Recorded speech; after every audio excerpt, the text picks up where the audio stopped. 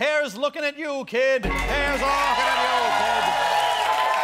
If there's one thing the internet has taught me, it's that my current haircut is the worst thing to happen on television since the Lost finale. Uh, well, it's just the rest of my hair is in purgatory. That's what it is. Uh, people keep asking me, what were you thinking? And I was like, I don't know, it's hair, it grows back, who gives a shit? But comedians, I'm gonna show you some truly horrifying haircuts from the subreddit Just F My Shit Up. And I want, I want you to tell me what they told the barber to do. I'm gonna start the clock now. First one. Craig Ferguson. Make me look like I'm just being born. Yes, punch. Next one. Seth.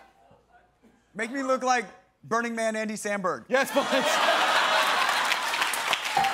Greg Proops. You think SeaWorld's cruel to whales? Punch. Greg Ferguson. I want to look like I'm too short for my mustache. Points.